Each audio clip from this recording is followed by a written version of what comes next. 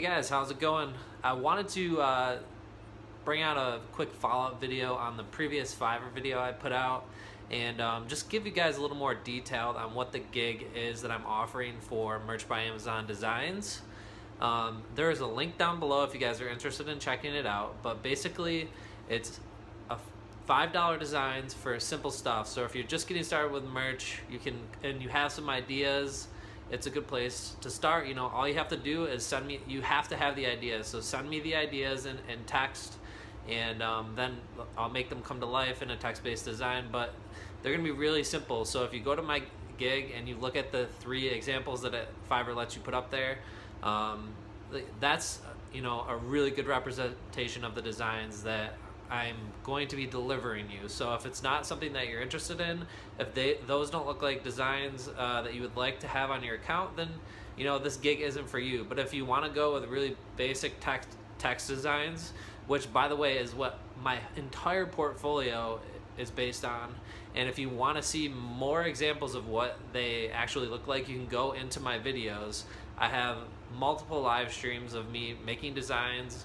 Um, you know, of what I put up on my account. Some of them are a little more complex, but if, if you see me popping out the quick designs on there that are just text, um, that's the kind of stuff that I put up for the most part. And some of my best sellers that I get day-to-day sales on are only text. So um, don't overthink it. And you know, if you're looking for simple designs, this is this is for you. If you're looking for, you know, crazy stuff with with handmade, you know, hand illustrated graphics, or you know bows and ribbons and stuff like that or, or you know that's not what this gig is. Um, there's other people out there but to do that you know you need to pay a graphic designer like 10 to 20 dollars a design because it takes a lot longer to do that.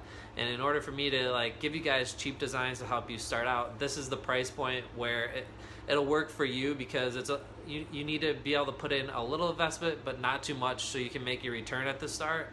And also it makes it for my time um, that it, that it takes me to do it. That that's the price point that I can do it at, and um, that's the amount of work.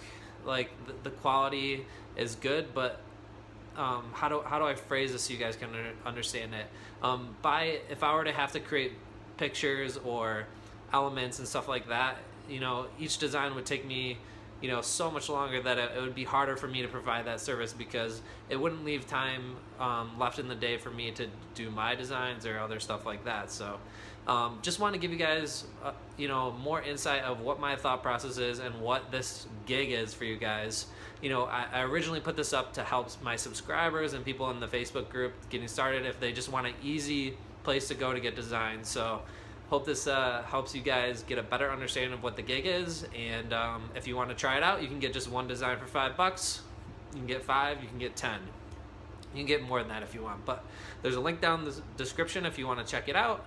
And um, yeah, I hope this helps clear up some of the questions. And uh, yeah, we'll see you in the next video, guys.